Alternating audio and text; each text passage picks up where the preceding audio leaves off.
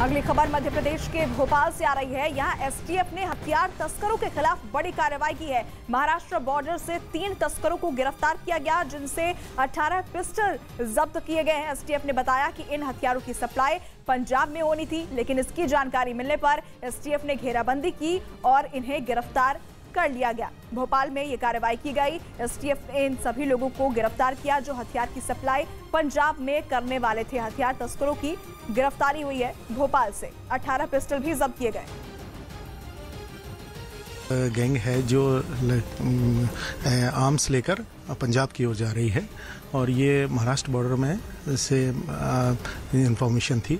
तो हमारी टीम यहाँ से हमने रात में ही भेजा उसे और उसने ट्रेस आउट किया कि ये बॉर्डर के ठीक आगे झल्लार पड़ता है बैतूल ज़िले का। वहाँ पर इसकी लोकेशन है। वहाँ पे जाके उसकी घेराबंदी की गई बैरिकेड की गई और उसके बाद जब उनसे पूछताछ की गई तो उनके पास से लगभग 18 पिस्टल्स मिले। उधर भारतीय सेना को जल्द ही ऐसा